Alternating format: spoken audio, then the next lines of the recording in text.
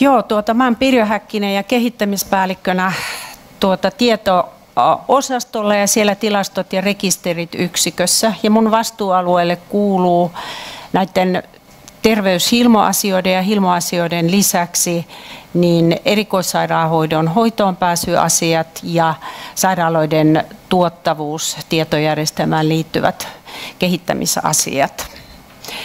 Ja mä sain tällaisen tehtävän tähän psykiatrian lisätietoihin. En todellakaan ole millään tavalla psykiatrian substanssiasiantuntija ja odotin, että tähän olisi tullut meidän psykiat, kaksi psykiatria, psykiatrian ää, tuota, tutkimusprofessoria, eli Parkkonen Timo ja ää, Marttunen, Marttunen, nyt en muista hänen etunimeään, mutta he ovat itse asiassa tämän sisältöasian valmistelleet ja me ollaan sitten tätä teknisesti ja koodistopalveluprosessin kautta yrittäneet sitten muotoilla niin kuin luokituksia sellaiseksi kuin koodistopalvelu esimerkiksi vaatii. Täällä ei ole kovin montaa psykiatrian asiantuntijaa, mitä mä nyt katselin tuota, niin näistä osanottajista, etten ihan kaikkiin yksityiskohtiin tässä puutu.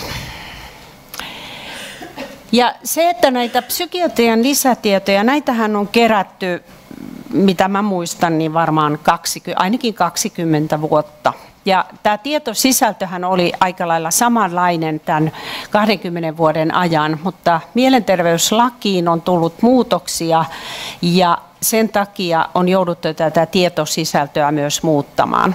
Ja tämä psykiatrian lisätieto muodostaa oikeastaan eräänlaisen laaturekisterin myöskin.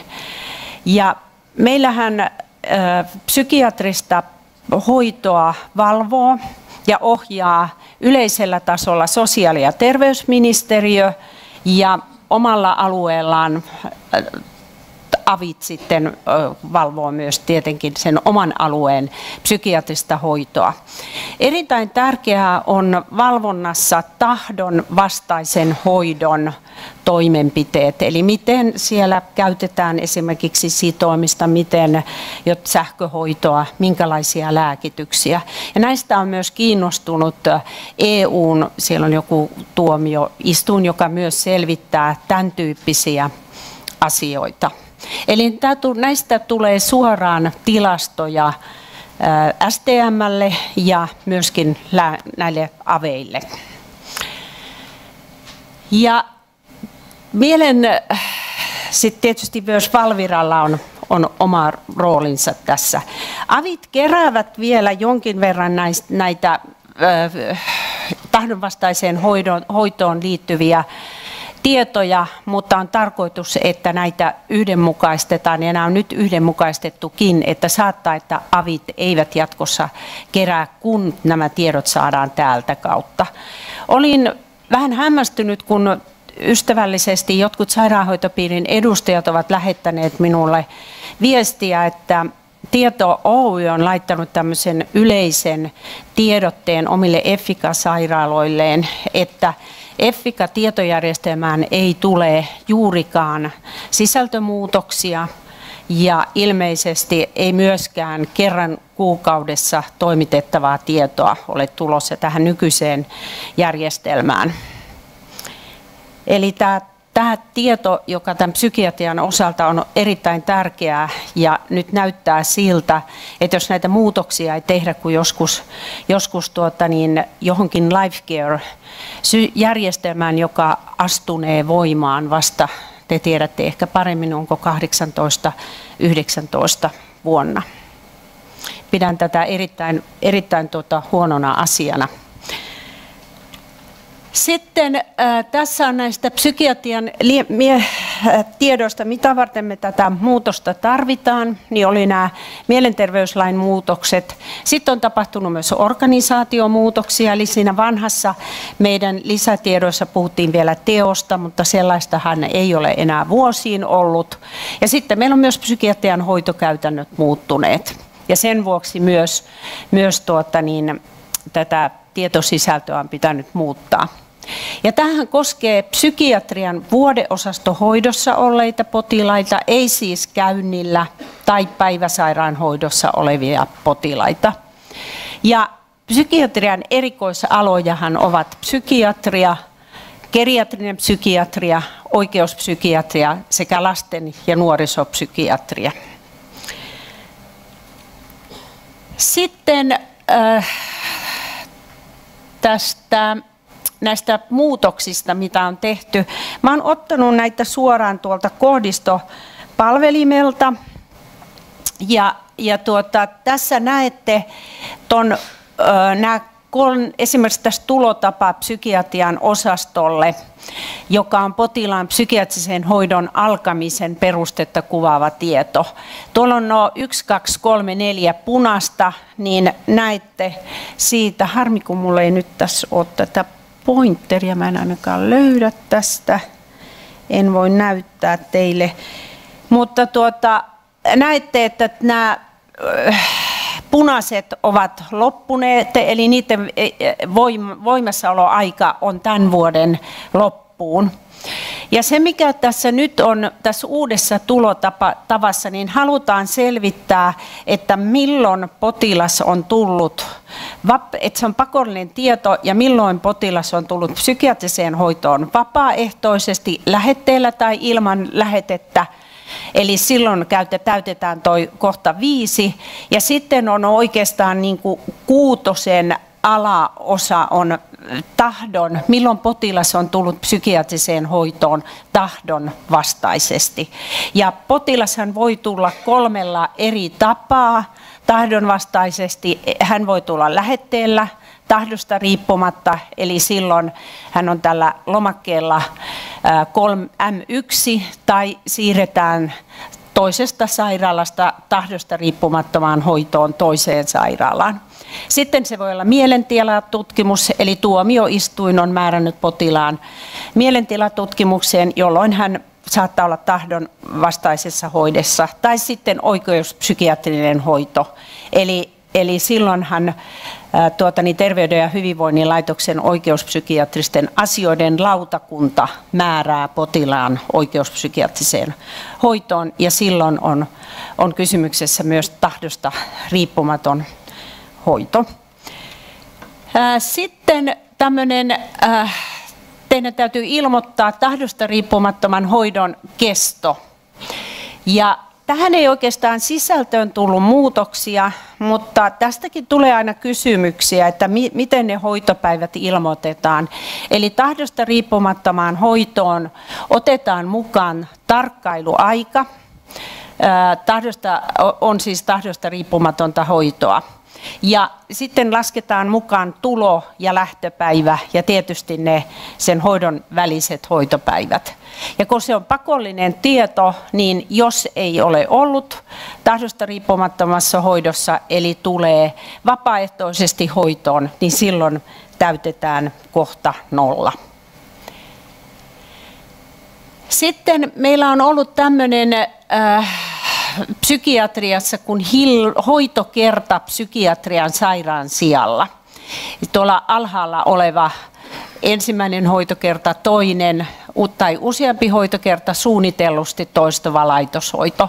Se poistuu kohdistopalvelimelta ensi vuoden alussa ja me, meillä otetaan käyttöön tämmöinen boolean, eli onko, onko potilaalla tämmöinen suunniteltu toistuvasti suunniteltu niin sanottu intervalliosastohoito.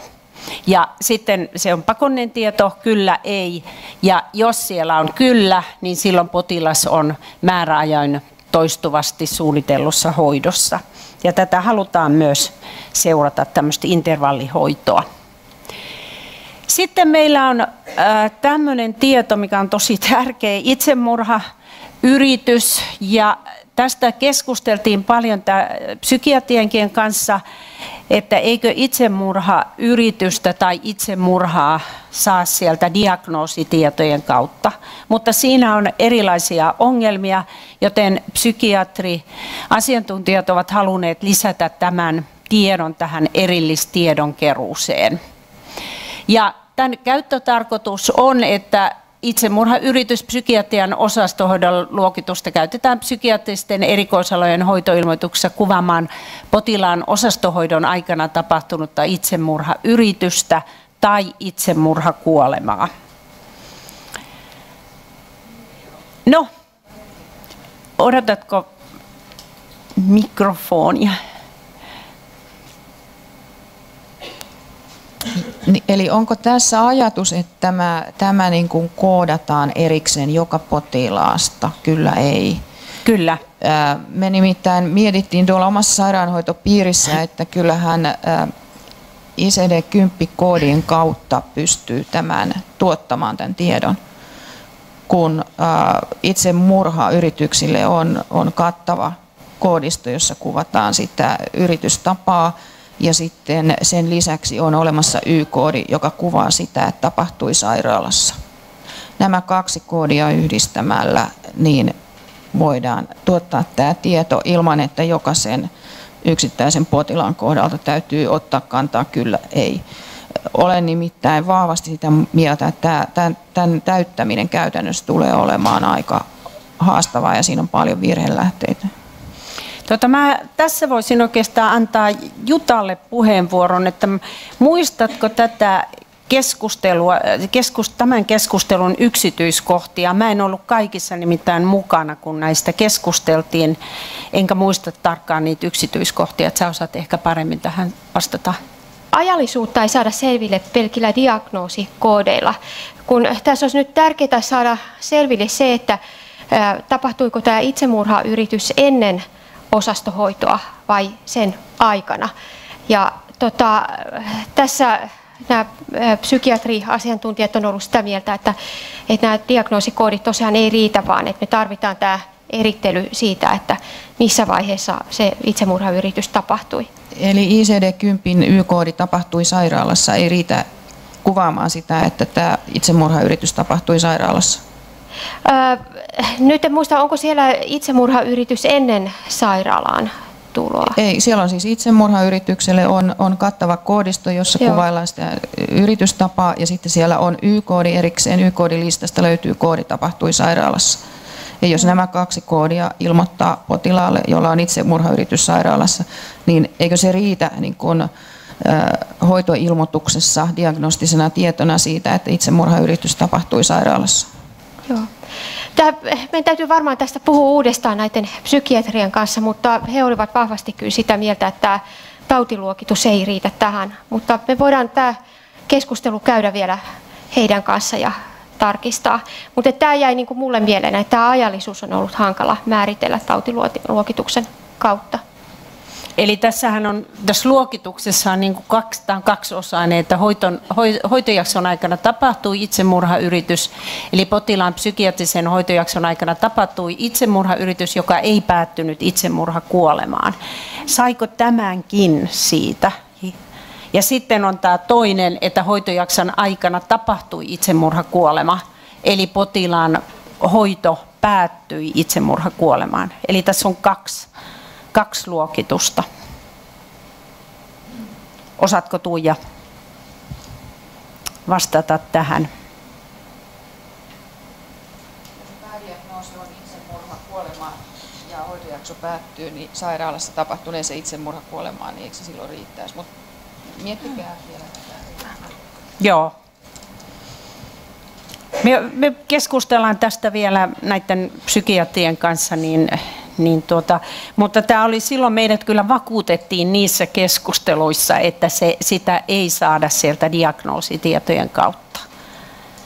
Mutta nyt tietysti kun ei ole asiantuntijoita ihan näin syvällisesti, niin ei, ei pystytä siihen vastaamaan. Sitten tuota, tietenkin on tärkeää myöskin ihan se potilaan hoidon seurannan kannalta, niin psykiatrisessa osastohoidossa annettavalla lääkityksellä.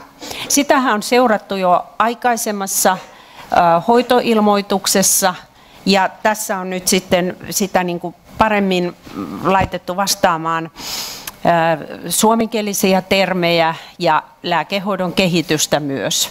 Eli tässä on myös nyt tämmöinen pakollinen kyllä, ei ja jos on kyllä, jos potilas on saanut hoidon aikana lääkehoitoa, niin vastataan sitten kyllä ja ei, jos ei saada.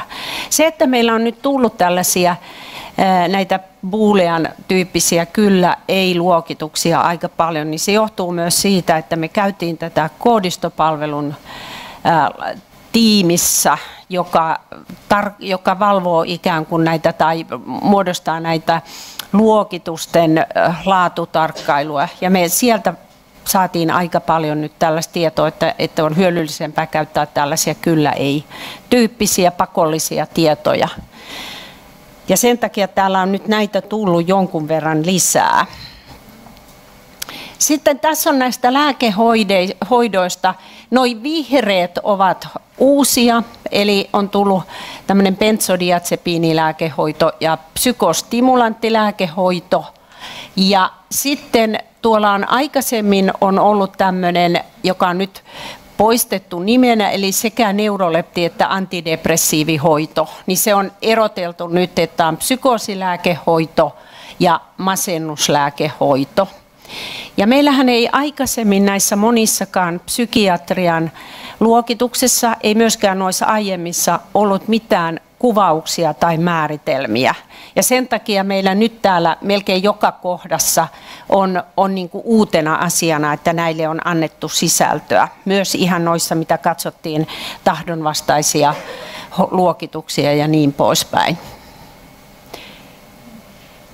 Ja tässä luokituksessa, kun tässä ennen oli niin kuin itse luokituksessa oli, että ei lääkehoitoa ja sitten mentiin tähän, niin nyt tämä koodistopalvelimen suositus oli, että tulee tämmöinen boolean kyllä ei ja sen jälkeen mennään siihen luokitukseen, että jos vastaa kyllä. Sitten meillä erittäin tärkeä asia, just mitä nämä EU, jotkut tuomioistuimet myöskin seuraa, on nämä pakkotoimenpiteet. Ja hyvin usein varmaan lehdissäkin olette nähneet, että, että miten eri, eri tuota, sairaalat käyttää erilaisia toimenpiteitä. Ja mä huomasin, kun eilen kävin läpi sekä koodistopalvelimella olevat kaikki nämä psykiatrian, Hilmoa koskevat psykiatrian luokitukset ja katsoin sitten meidän oppaan, niin meiltä on jäänyt vahingossa oppaasta pois nämä luokitukset, eristäminen muista potilaista, sitominen lepositeillä ja hoidollinen kiinni pitäminen. Ne on ehdottomasti ne yleisimmät ja jo aiemmin mukana olleet luokitukset, niitä nimiä on vain vähän muutettu. Eli ne on ihan jostain syystä jääneet pois. Me nimittäin ollaan tätä psykiatrian luokitusta tosi paljon joutu, jouduttu käymään yhdessä koodistopalvelimeen tämän laaturyhmän tai nykyisen koodistopalvelutiimin kanssa ja sen takia sitä on, se on niin kuin elänyt koko ajan. Niin varmaan tässä on sitten epähuomiossa on jäänyt pois, mutta niin kuuluu siihen ja me lisätään oppaaseen, että siihen tulee korjaus näiltä osin. Näitä on tosi paljon, jos katsotte ja, ja mäkin ihmettelin vähän näiden asiantuntijoiden, miten ihmeellä voi näin paljon olla, mutta nämä on kaikki siellä lainsäädännössä. Et tässä on vasta nyt osa puolet, eli, eli tuota, Täällä on eristämistä muista potilaista, sitominen lepositeillä, hoidollinen kiinnipitäminen, hoitotoimenpide ja tai tutkimustahdosta riippumatta tai potilaan vastustaessa hoitoa. Ja sitten täällä on sähköhoitoa ja lääkkeen antotahdon vastaisesti ja psyykkisen sairauden hoito tahdosta riippumatta ja ruumillisen sairauden hoito tahdosta riippumatta ja lääkkeen antotahdosta riippumatta tai joku muu tutkimus- ja hoitotoimenpide tahdon vastaisesti. Myös liikkumisvapautta voidaan rajoittaa. Ja sitten on vielä täällä joukko muita on, on tämmöistä omaisuuden haltuunottoa, jos pelätään, on pelättävissä, että potilas vahingoittaa itseään tai jotain, jotain muuta ää, lähellä olevaa. Sitten on tämmöisiä henkilötarkastuksia ja katsastuksia. Eli, eli tämä henkilötarkastus tarkoittaa sitä, että jos oletetaan, että potilaalla on jotain, jotain tuota, sellaista mm, asetta tai jotain ainetta, jolla hän voi vahingoittaa itseään tai ympäristöään, niin voidaan tutkia potilas. Sitten voi, voi myös olla tämmöinen henkilökatsastus, jos epäillään, että, että potilaalla on vaikka jotain lääkeaineita tai muuta elimistössä, niin voidaan ottaa verinäytteitä ja tutkia sitten tarkemmin vielä ruumiillisesti. Sitten voidaan myös yhteydenpitoa rajoittaa, eli, eli potilaan, potilas ei voi olla yhteydessä sitten sairaalan ulkopuolelle. Eli nyt on lisätty ihan lainsäädännöstä johtuen niin nämä vihreällä olevat luokitukset, eli tahdonvastaisesti toteutettu hoitotoimenpide tai tutkimus, liikkumisvapauden rajoittaminen, omaisuuden haltuunotto, potilaan omaisuuden ja lähetysten tarkastaminen, henkilötarkastus ja katsastus, yhteydenpidon rajoittaminen.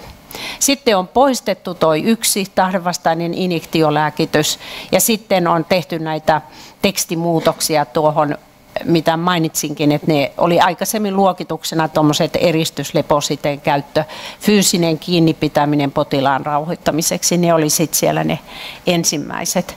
Et mun täytyy sanoa, että te, jotka työskentelette psykiatriassa, niin on aikamoinen urakka tietysti näitä valvoa. Ja missä aina kulkee se raja minkäkin kohdalla.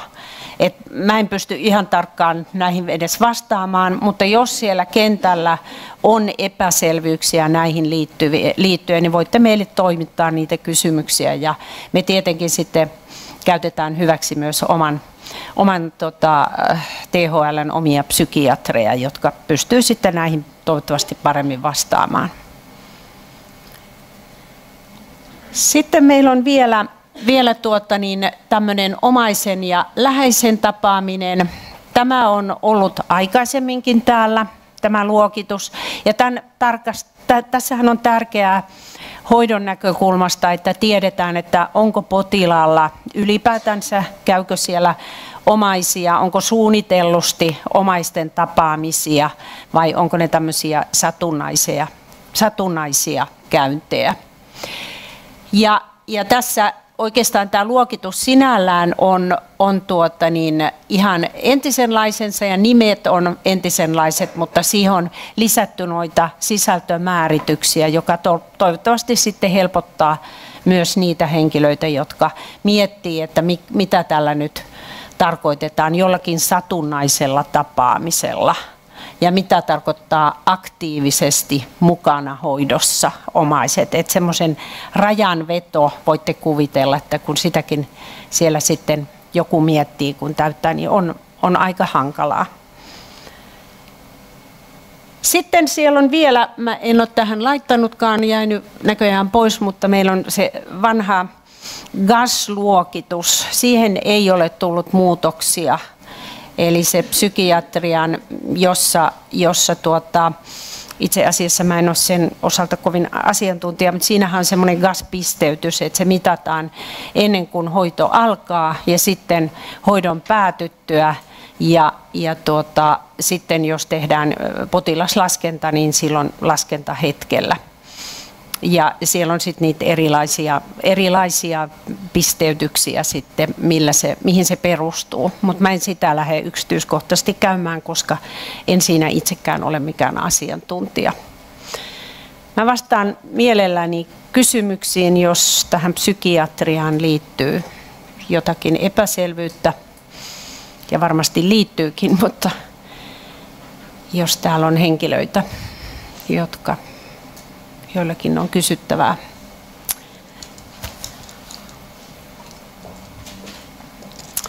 Mä en muista, että olisi tullut niissä ennakkokysymyksissä psykiatriaan liittyviä kysymyksiä. En näin äkkiseltään ainakaan muista.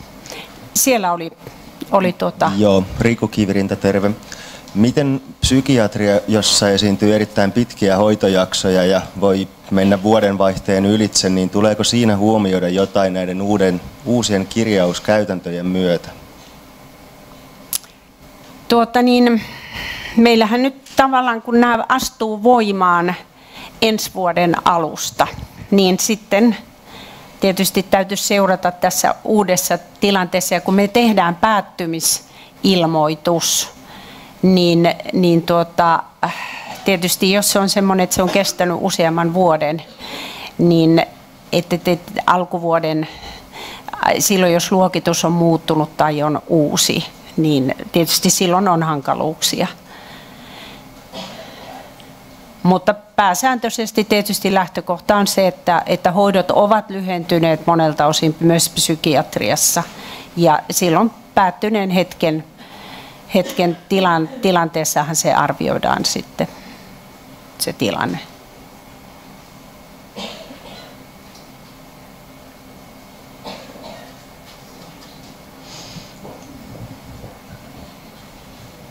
Minna Kuittinen, hei.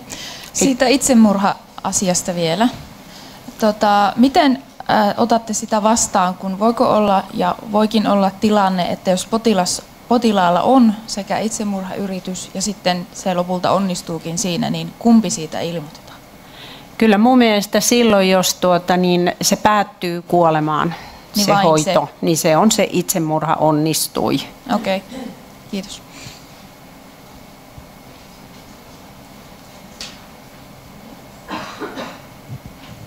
Tietysti jos tulee laskenta hetken tilanne, eli silloin se potilas elää vielä ja on ehkä tehnyt yrityksiä, niin silloin te täytätte sen itsemurhayritys. Mutta sitten kun potilas poistuu kuoleman kautta ja on kysymyksessä itsemurha, niin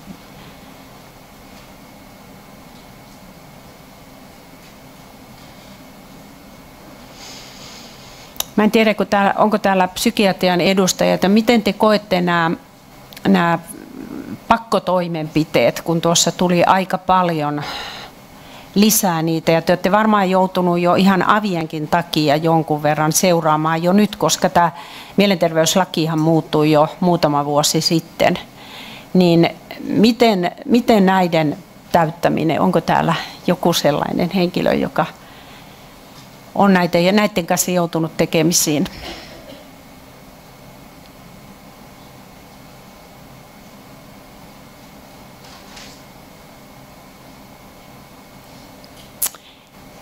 Ei taida olla.